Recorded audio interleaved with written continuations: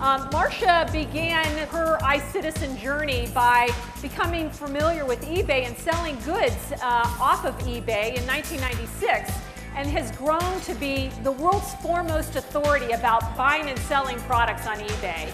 Marsha has now become an integral part of the eBay business and culture.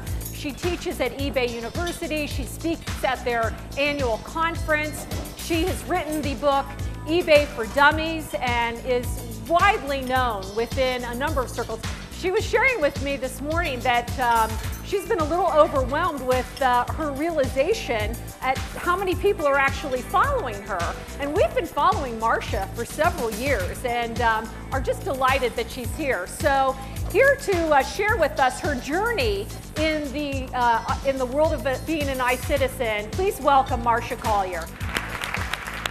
So the first media interview I did was live with Matt Lauer. I was so scared. I have the video of it, and I'm going like this.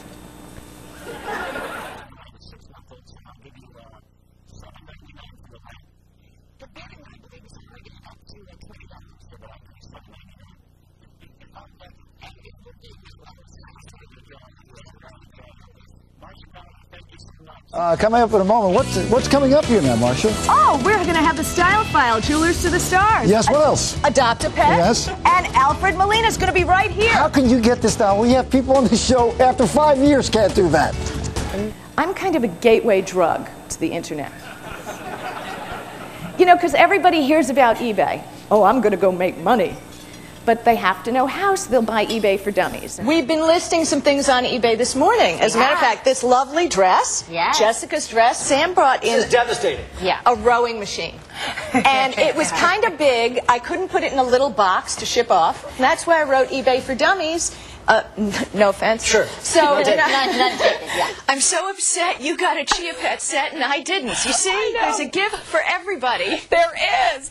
There is. The Singapore government had me speak at an internet conference there to empower the people of Singapore to sell on the internet.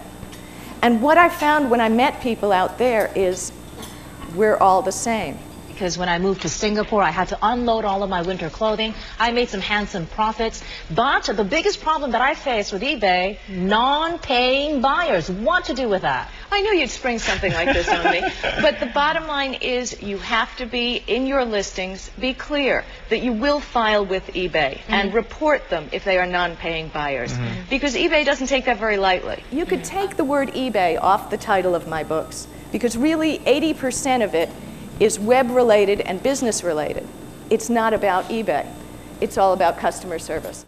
No. hold on, there's a secret? No, there, okay, hold on, wait. There What's is the no secret. Okay. The bottom line is if you want to make money on uh -huh. eBay, you have to work. Oh, see?